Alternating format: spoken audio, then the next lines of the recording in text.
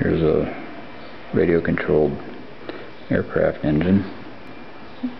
that I have reproduced in 3D print. And what I've done is shown a cutaway so you can see the internal workings of the engine. And it's uh, obviously fully rotating and operates just like it's metallic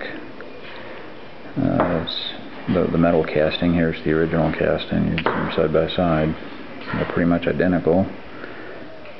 except for one is done in plastic with a cutaway and the other one is of course the original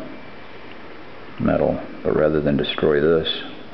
by cutting a hole in it to see how it operates I simply recreated it using CAD and did a 3D print of it and now you can see the internal workings this is a very nice method to be able to show clients, customers, uh, the internal workings of, of whatever mechanism is required without a lot of cost.